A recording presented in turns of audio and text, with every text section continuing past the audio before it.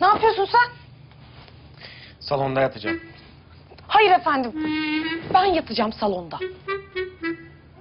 İyi, nasıl istersen. Nasıl ya?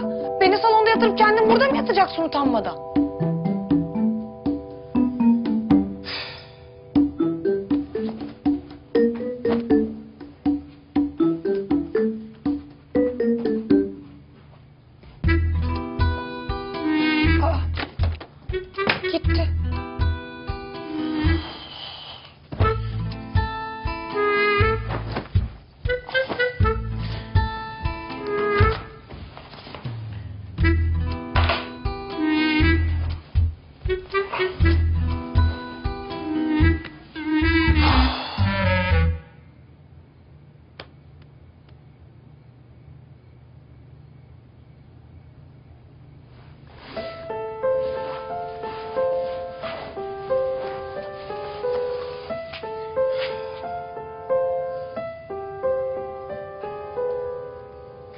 Bu öyküyü dramdan komediye çevirmek için ne yapmalı?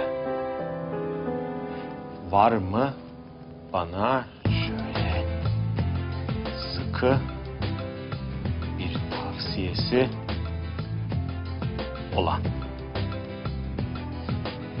Olur mu? Olur.